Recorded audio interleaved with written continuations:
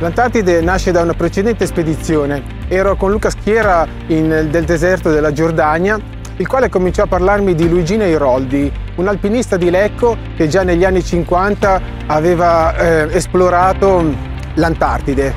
Dall'idea al viaggio è passato veramente pochissimo tempo e non ho fatto altro che coinvolgere altri due miei amici. Uno è Marcello Sanguinetti, che si è occupato poi della parte scientifica, e Marico Dell'Agnola della parte video e fotografica. Io non sono mai stato in barca, per cui questa per me è stata un'esperienza assolutamente nuova.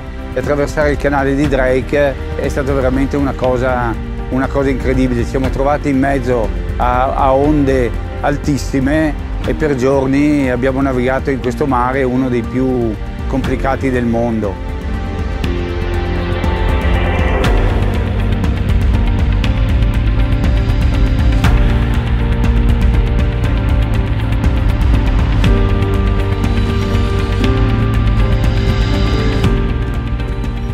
Finalmente arriviamo in vista della penisola antartica, l'ambiente tutto intorno a noi è gelido, ma tutto sommato fa meno freddo di quanto ci aspettavamo.